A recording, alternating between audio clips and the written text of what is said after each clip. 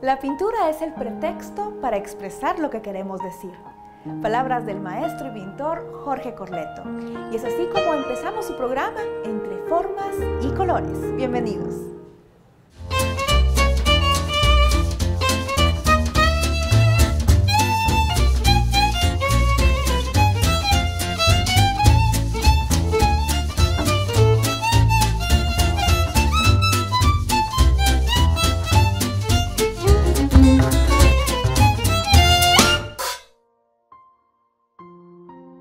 Eh, yo tuve mucha comunicación directa con el arte desde, desde niño. Mis padres, pues, eh, mi padre escritor y, y, mi mamá era actriz de teatro. Entonces, desde muy joven y desde muy niño, pues eh, asistía a ver teatro, por ejemplo, y ver las imágenes, el lenguaje que se usaba en el teatro. por otro lado, en casa mi papá tenía libros de arte que le gustaba mucho, entonces él inició originalmente en pintura luego se trasladó a la literatura. Y entonces, eh, de hecho yo cuando tenía como ocho años descubrí que la Mona Lisa era color. mi papá la tenía en un libro que era, que era en blanco y negro. Y entonces desde muy joven empecé a, tener ese gusto por, por, el arte visual. Y pues más o menos a la edad de 10 años por ahí, hablé con mi papá y le, dije que en esos cursos de vacaciones que le ofrecen a uno los padres que quieres estudiar y todo, pues le dije que ya no quería ir a la natación y esas cosas, sino que quería ir a, estudiar realmente pintura. Entonces empecé a estudiar con el maestro Jorge Mazareos. Tenía su estudio más o menos por la, torre. Y entonces a, la edad más o menos de 10 años empecé ahí y estuve unos 4 años con él estudiando. Y ya cuando, cuando podía ingresar a la Escuela Nacional de Artes Plásticas, pues me fui para ahí. Y más adelante pues eh, saqué una beca para estudiar muralismo en México eh, me fui eh, por un par de años a México, luego regresé y pues empecé a ejercer la docencia dentro de, las artes visuales en la Escuela de Artes Plásticas de la Universidad Popular, que hoy se llama Roberto Cabrera Padilla. Y entonces ahí formulé una serie de, murales, que son siete murales que están a lo largo de las gradas, y pues ahí empezó mi trabajo más o menos de, mural, después de que regresé de, México, con la influencia de, de, todo el trabajo que miraba yo de Diego Rivera en Bellas Artes, por ejemplo, que estaba totalmente colmado. Diego Rivera tenía un poco de, pavor al vacío y entonces llenaba completamente todo de, figuras y pues eso me, atrajo bastante. Y cuando vine aquí y tuve la oportunidad de trabajar en la Universidad Popular, pues les propuse un proyecto de ese tipo. Y entonces después de... Fue, fue difícil porque no teníamos financiamiento, pero eh, más o menos el proyecto se unos ocho años en realizarse. Y entonces eh, fueron declarados Patrimonio Cultural los murales en el año 2000 y pues más o menos eso fueron como los, los inicios de todo esto. ¿y quiénes o, qué fue lo que le sirvió de inspiración para poder eh, seguir desde pequeño en esta carrera? Porque estaba muy niño cuando, cuando empezó. Sí. ¿Qué hizo decidir que se, quería, que se quería dedicar de lleno a esto? Bueno, pues mi, mi papá y el maestro Recinos jugaban ajedrez. Entonces eh, yo iba a, esas partidas de ajedrez, pues me aburría, yo era un niño. Y entonces el maestro Recinos me ponía sus slides en la pared para que yo mirara. Y él tenía todo, todo documentado en, en slide, todo su trabajo. Y entonces yo me ponía a ver eso.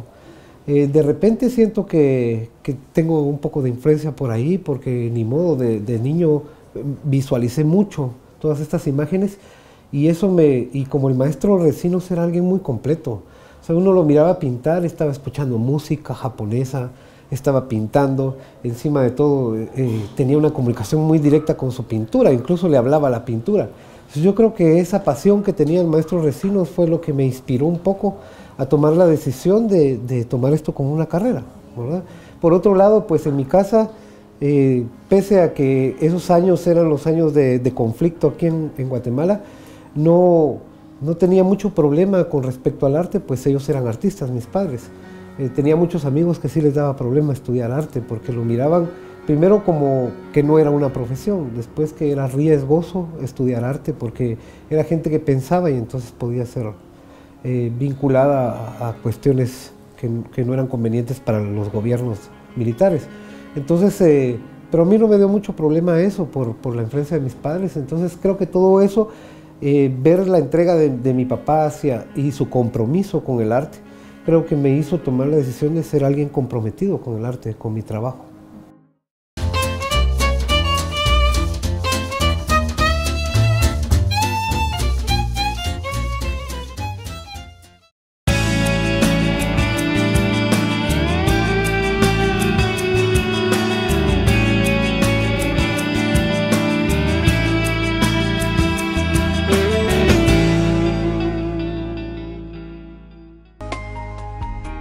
Varios años corrió un gran rumor que parecía imposible, una cascada de agua caliente.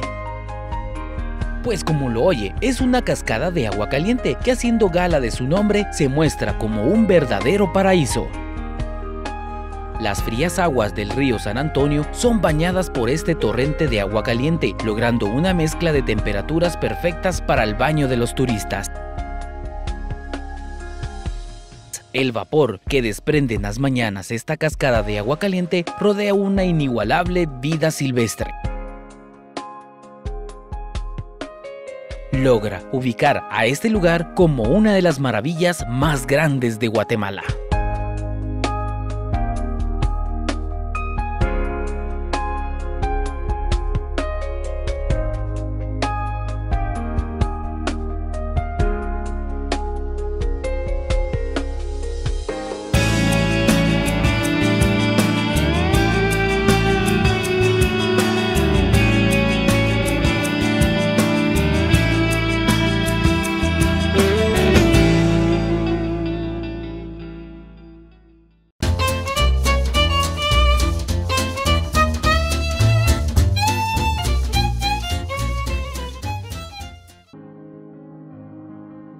Cuando yo era pequeño y me la pasaba mucho en la UP, porque iba, iba a la Universidad Popular, mi mamá era actriz, entonces eh, muchas veces teníamos que estar ahí en los ensayos, no sabíamos las obras de teatro y todo, de niños, y, e incluso dormíamos ahí muchas veces en las butacas de la, de la UP.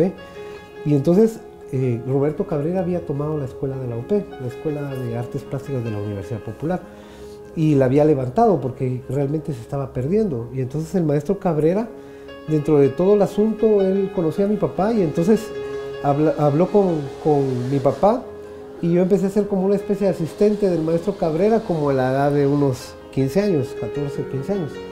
Y más que todo era para alcanzarle cosas, pero creo que esa vivencia fue muy importante. Eh, fue una forma de ver al artista trabajando. Regularmente uno no tiene contacto con, con el artista en, ese sentido, ver cómo trabaja. Realmente uno mira el producto, pero no mira el proceso. Y pues yo en ese momento tuve la oportunidad de ver el proceso, o sea, cómo un artista iniciaba desde la idea de, crear su trabajo hasta concluirlo, eh, eh, qué recursos utilizaba, etc. Y entonces todas esas cosas creo que, que fueron bastante escuela para mí. Luego pues ya ingresé a la escuela, estuve un par de años ahí en lo que, en lo que realmente me salió la beca esta que le digo. Yo realmente iba a una beca eh, de restauración, de pintura. Pero estando allá, pues habían varias ramas dentro de la beca y yo hablé con el supervisor de las, de las becas y le pedí si me podía cambiar. Estuve una semana nada más en restauración, si me podía cambiar a muralismo. Y entonces me aceptaron al final y entonces eh, llevé todo el proceso de, de conocer este, este movimiento que se dio sobre todo en México del muralismo y estando ahí pues era creo que, que muy bueno, fue una buena escuela también para mí. Entonces eh, todo eso digamos fue muy enriquecedor, pero dentro del proceso del muralismo era como una academia igualmente. Entonces teníamos maestro de pintura y todo y aprendí muchas cosas con todos estos maestros. Eh, luego regresé ya aquí a Guatemala y entonces el maestro Anleu, que fue mi maestro de pintura en la Escuela Nacional de Artes Plásticas, me invitó, él era director de la escuela de la Universidad Popular, me invitó a, empezar a dar unas clases ahí y así fue como inicié la docencia ya digamos prácticamente dentro de la pintura. Yo me defino como un eh, pintor eh, figurativo expresionista. yo necesito la figura como para decir cosas, no solo la figura humana, sino cualquier tipo de figura, puede ser un animal o puede ser un objeto inanimado que, de repente me sirve como recurso o, como pretexto para decir cosas. Eh, entonces, dentro de la línea, digamos, que, yo agarré, es, a mí me gusta mucho la pintura abstracta, mas no me siento capacitado o un pintor totalmente capacitado para solo expresarme con pintura abstracta. Entonces tomé la decisión en un momento de experimentar mezclando pintura abstracta con, con pintura figurativa. Y el resultado fue cosas como estas. Y entonces eh, vi que por ahí podía ir mi tendencia a decir, la pintura o la escultura y todo eso no son más que pretextos para decir cosas o para expresarnos de alguna manera. Y creo que esta es la forma de mi pretexto para decir las, las cosas. Del año 2000 para acá, que van aproximadamente 15 años, yo tendré unos 300 y algo de cuadros documentados. Más lo que hice antes, bueno, no sé, no sé, yo soy una persona que soy muy ansioso, muy ansioso y yo no duro mucho trabajando un cuadro, aunque usted no me lo crea. Eh, un cuadro como este lo hago en dos días o algo así, porque yo, yo eh, estoy muy ansioso de decir lo que tengo que decir y entonces y, rápido esto me está generando otras ideas y entonces no quiero que cambie. Entonces va en un proceso como ese. Entonces soy un artista me considero bastante productivo. Solo el año pasado tal vez realicé entre los trabajos de mural y, los trabajos pictóricos tal vez unas 50 piezas, que muchos amigos míos realizan 8 o 10 al año. Entonces, eh, no sé, no tengo idea de exactamente cuánto trabajo. Hace poco un amigo pintor me dijo, mira, fui donde un licenciado que tenía que hacer un trámite y vi una pintura tuya. Entonces yo vine y le dije, ¿por qué no me das el teléfono del licenciado? Lo llamé por teléfono y así pude documentar esa pintura que ni me acordaba que existía, que la había hecho cuando todavía era estudiante. Entonces eh, son cosas que, suelen pasar, hay cosas que se me olvidaron. Gente, me encontré una mi ex, una oportunidad en la calle y todo, y me, contó que tenía un cuadro mío. Entonces le dije que lo quería ver y todo, y me lo mandó por fotos. Entonces así lo pude documentar también. Eh, son cosas que, pasan que a veces hasta se le olvida a uno, ¿verdad? Eh, ¿Cuántos? Sí, ¿cuántos?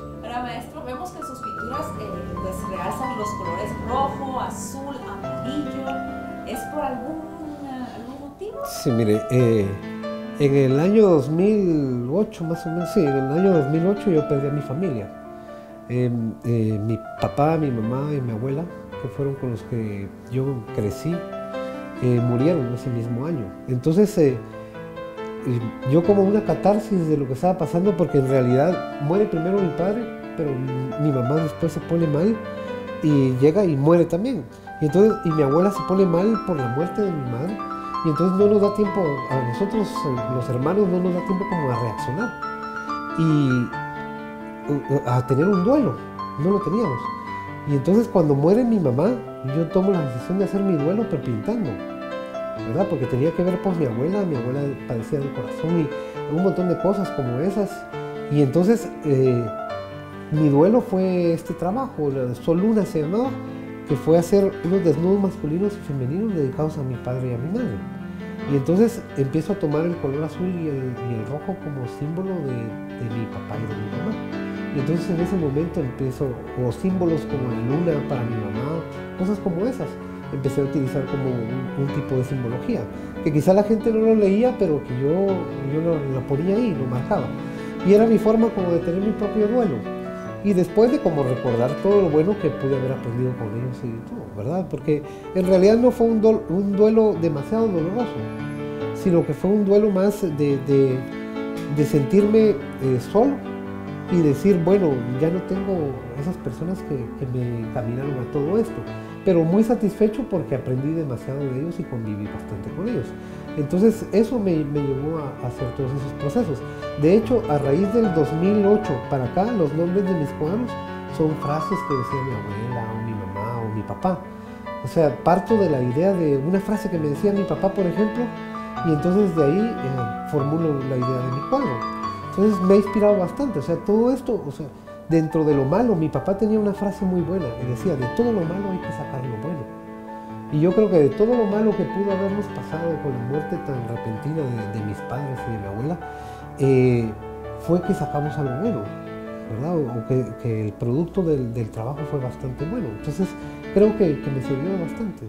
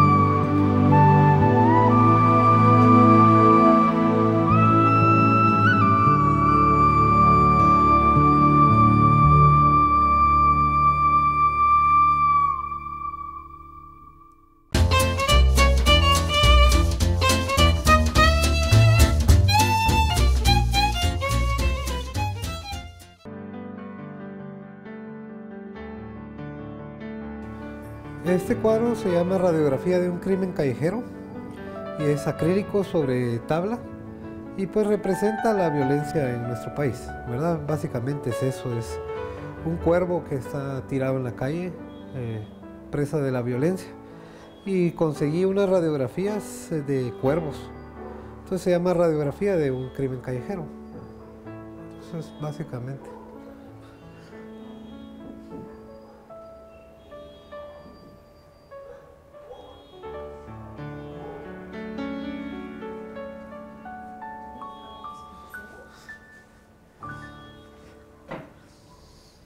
Bueno, este cuadro se llama Tratando de cambiar.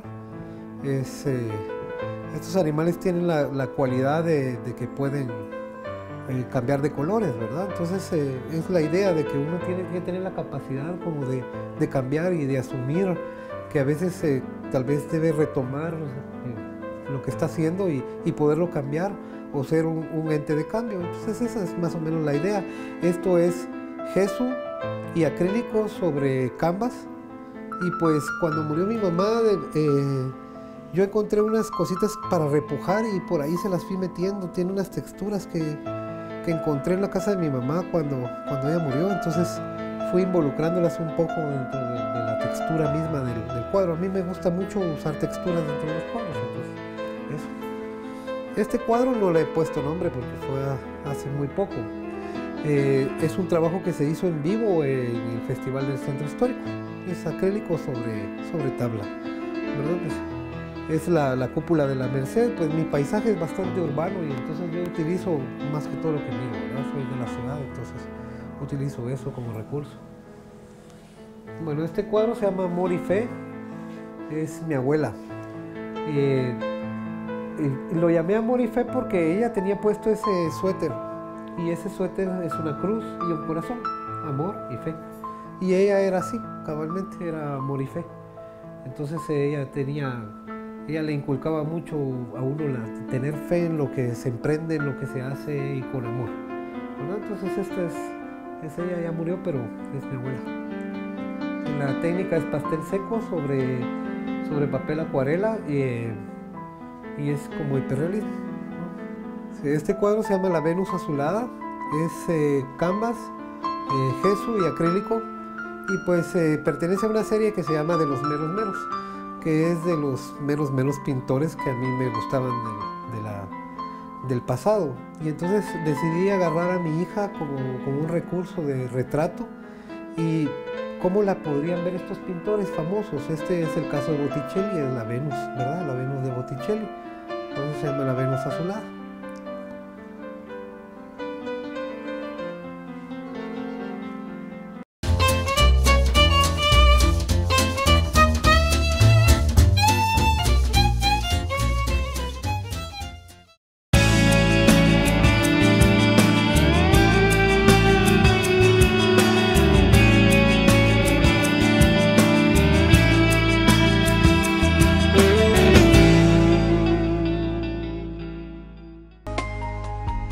Hace varios años corrió un gran rumor que parecía imposible, una cascada de agua caliente.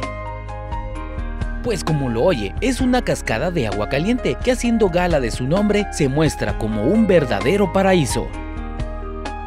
Las frías aguas del río San Antonio son bañadas por este torrente de agua caliente, logrando una mezcla de temperaturas perfectas para el baño de los turistas.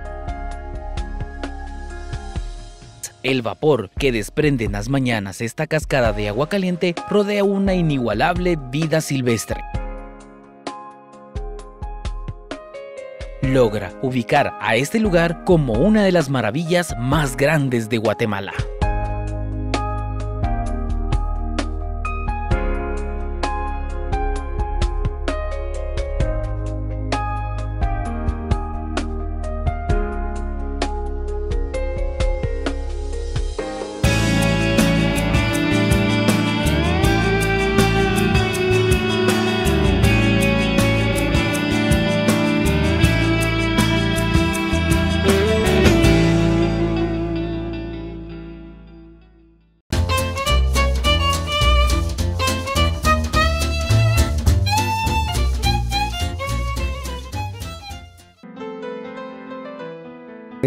Año 2012, que era el cambio de era, pues eh, un año anterior yo empecé a leer sobre qué, consistía esto, empecé a informarme un poco.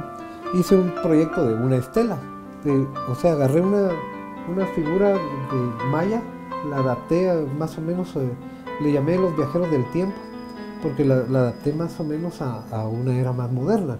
Eh, unos cuadros altos y delgados como estelas.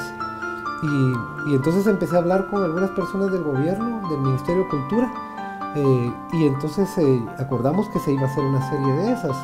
Y entonces se me nombró como el pintor del, del eh, se hizo una serie de 12 estelas que se expusieron en Quiriguá la noche del cambio de era. Mientras se daba esto, pues como estaba llegando bastante gente, turistas y todo, pues se explicaba más o menos cómo era el trabajo. fue bastante interesante. Pasamos la noche ahí, eh, se hizo la velada cabalmente del camionero. esa serie la estuve trabajando cabalmente el 2012, eh, más o menos unos cuatro meses tal vez trabajé. Con el fotógrafo José Muralles eh, teníamos la idea desde hace un par de años de hacer una alfombra artística en la cual combináramos lo que yo trabajo de arte con, con, lo que él trabaja, la fotografía. Entonces él iba a documentar todo el trabajo fotográfico de lo que se hiciera. Ya habíamos tenido una experiencia similar para cuando, cuando cayó la arena del volcán. Entonces yo salgo a la calle y José Muralles vive cerca de, mi casa. Y entonces yo salgo a la calle y está lleno de arena. Pero hay una señora que está barriendo la arena. Y entonces me doy cuenta que quedan unos rastros. Y entonces hablé con José y le dije, tomás fotografías y yo voy a hacer una pintura ahorita con la arena. Y entonces hicimos una prueba de esa manera.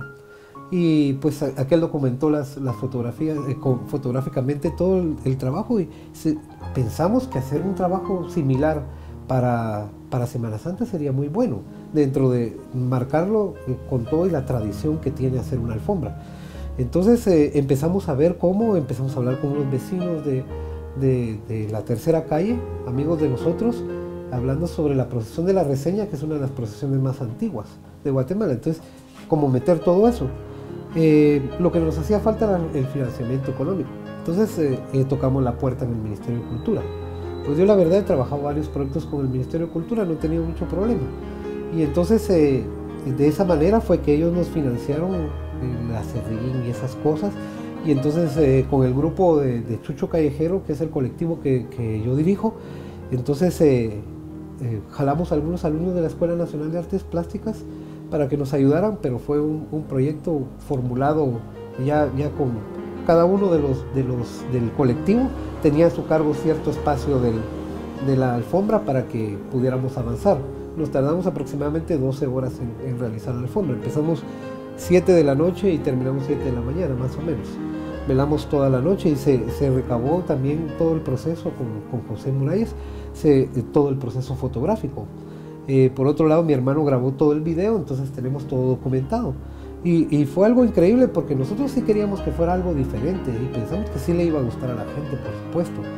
Eh, pero no creímos que llegara a, tener la, la, la fuerza, la coyuntura que llegó a tener en los medios de comunicación. Yo no me imaginé, yo daba clases en la Escuela Nacional de Artes Plásticas y no como parte de la escuela, sino yo hablé con mis alumnos y les dije, si algunos quieren participar dentro de, hacer esta alfombra, pues eh, me apuntan su nombre aquí. Yo no me imaginé que iba a ser, que tuve que seleccionar al final, porque eran tantos que tampoco necesitamos tanta gente por un lado, se iba a perder el control. Eh, pero esa fue la gente que, que, estuvo involucrada en la realización de la alfombra. Por otro lado, tuvimos toda la gente que, como José, como mi hermano, que, que hicieron toda la documentación por otro lado, la gente del ministerio que nos llevó la comida, que, o sea, por ese lado nos apoyó. Eh, a nosotros nos dieron el acerrín, yo di muestras de los colores que necesitaba para la, la, alfombra y nos dieron esos colores ya, ya teñidos con el acerrín de parte del ministerio. Eh, y de ahí la gente de la casa, que nos brindó su casa, que se volvió como una estación. Y entonces nos brindó su casa y ahí pues ahí guardábamos todas las cosas, ahí fue donde comimos, donde eh, hicimos todo, La, formulación de ir dividiendo el espacio de trabajo.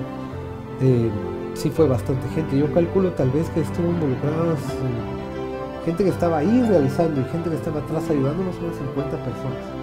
Yo tenía un diseño que fue el que le presenté al ministerio. eh, de cómo iba a ser la alfombra. Ese diseño lo ampliamos en papel. Lo picamos, que es hacerle como hitos a todo lo que habíamos ampliado, y de ahí lo pasamos a la calle. Porque es bien difícil ya en la calle poder, dibujar así sin que se le deforme a uno un poco. Entonces ya pasado, la, casa que nos, que nos brindaron era de tres niveles, entonces podíamos tener control y monitoreo desde arriba para ver que no se desfigurara mucho la, imagen. Y entonces así empezó todo, como un dibujo en el, piso, por eso le, llamamos un pisal figurativo, porque empezó como una pintura en el piso y luego fue decorada con, la, con, el acerrín, ¿verdad? Cuando terminó el, el, cuando terminaron de hacer la alfombra y pasó la procesión, ¿cuál fue la sensación de...? Sí, bueno, eh, yo creo que yo estaba bastante preparado no sé, los alumnos, algunos, yo, los miraba con cara triste viendo la, alfombra. Yo sí estaba preparado de saber que lo que estábamos haciendo era un arte efímero, que solo iba a durar de las 7 de la mañana, de, que lo empezó a ver la gente, hasta las 12 y algo que pasó la procesión. Eh, sí fue interesante, o sea, fue un proceso que se dio bien, bien, bien grande. La gente que iba acompañando la procesión, la fotografía del dron, eh, el padre nos habló o sea, fue algo que, como le digo, algo que pasó que no me imaginé que iba a crecer tanto, que iba a ser tan grande el, proyecto. Al final la hermandad nos llegó a dar las gracias y fue un montón de cosas, ¿verdad?